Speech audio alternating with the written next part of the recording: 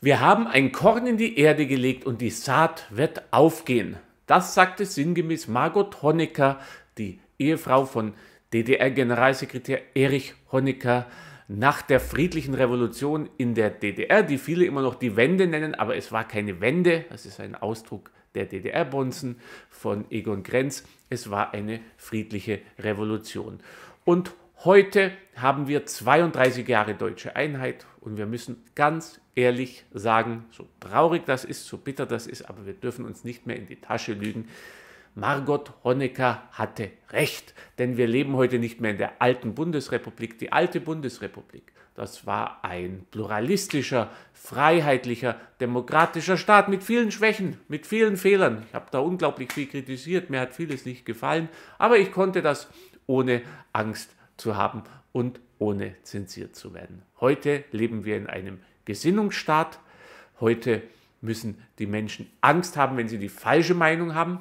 Viele haben die richtige Meinung, die brauchen deswegen auch keine Angst haben und die sagen, ja, was klagen da solche wie der Reitschuster, man darf doch alles sagen. Klar, wenn man brav an alle Narrative glaubt, wenn man brav das wiedergibt, was in den großen Medien und in den großen etablierten Parteien gesagt wird, dann braucht man keine Angst haben. Genauso wie man in der DDR keine Angst haben brauchte, wenn man stramm auf Linie war.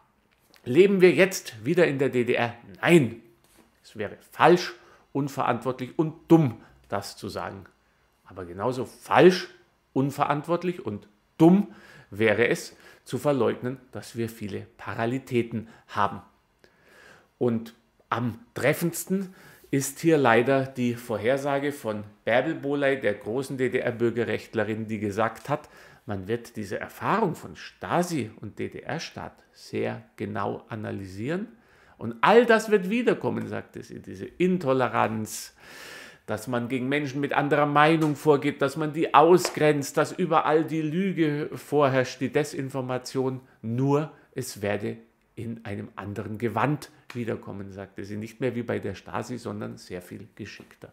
Genauer hat eigentlich niemand das beschrieben, was wir heute erleben. Genau so ist das. Der Alexander Fritsch Autor auf meiner Seite, der noch vor sieben Jahren um ein Haar Vorsitzender des Deutschen Journalistenverband geworden wäre. Ja, so waren damals die Zeiten. Heute ist dieser Deutsche Journalistenverband eine linksgrün-rote Kampforganisation. Damals war er noch offen und der hat für meine Seite vor anderthalb Jahren eine Artikelserie geschrieben, warum die DDR gewonnen hat. Fünf Texte sind das, einer bedrückender und beeindruckender als der andere. Woher kommt das? Ich habe es ja schon öfter erzählt. Ich war in jungen Jahren Jungsozialist und die Jusos hinter verschlossenen Türen, wenn die Älteren nicht zugehört haben, haben die die DDR hochleben lassen, haben die gesagt, das ist das bessere Deutschland. Wir wollen, dass die Bundesrepublik in vielem so wird wie die DDR. Das sind genau die Leute, die heute in der Regierung sitzen. Olaf Scholz, äh, Schröder, all die üblichen Verdächtigen, die die SPD feindlich übernommen haben, die eine große Sympathie für die DDR hatten. Olaf Scholz war ja da auch öfter drüben, hatte beste Verbindungen.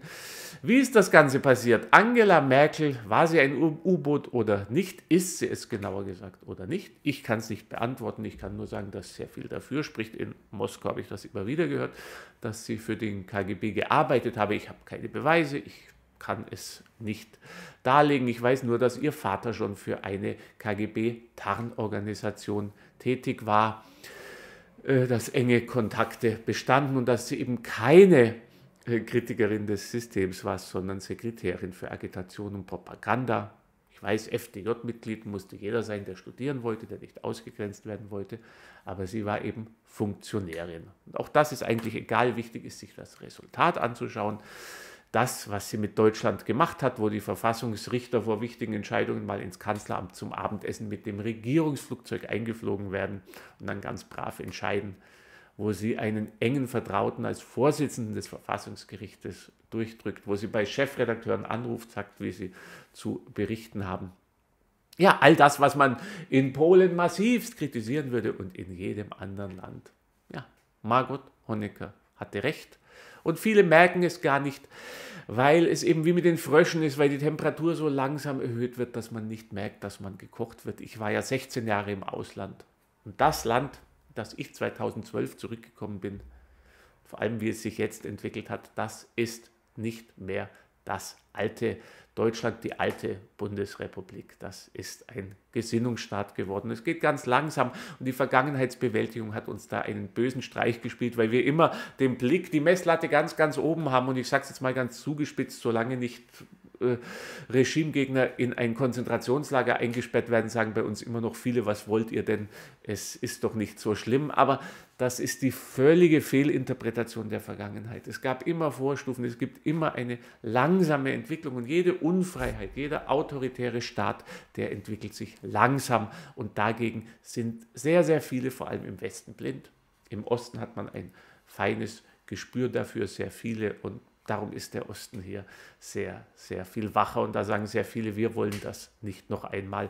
Da erleben sehr viele, dass sich das Ganze wiederholt. Ja, meine traurigen Gedanken zum 3. Oktober, zum Tag der deutschen Einheit, die unter falschen Voraussetzungen leider offenbar stattfand. Ich habe auch noch einen großen Artikel auf meiner Seite dazu, die DDRisierung der Bundesrepublik. Schaut rein, liest das. Danke fürs Zuschauen. Alles Gute. Ciao.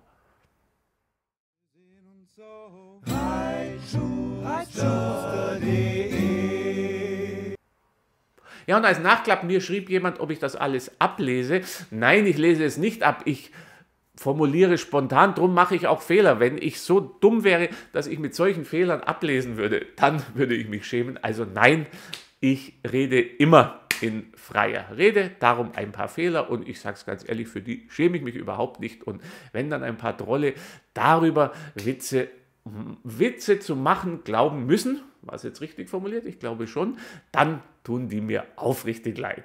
Und dann würde ich gerne mal sehen, wie die spontan formulieren, ohne dass es aufgeschrieben ist. Ich finde nichts schlimmer und langweiliger als aufgeschriebene Reden, finde das auch in der Politik schrecklich, aber heute, wie gesagt, weil ja diese ganzen äh, bösen Menschen, die agieren wie Jungen in der Pubertät, die sich dann lustig machen über Fehler von anderen und diese Empörungskultur, weil die so stark sind. Darum traut sich das heute kaum noch jemand. Ich lasse mir das nicht nehmen. Bei mir kriegt ihr spontane Rede und mit Fehlern, aber dafür echt, finde ich, schöner, als wenn es abgelesen ist und dafür fast fehlerfrei.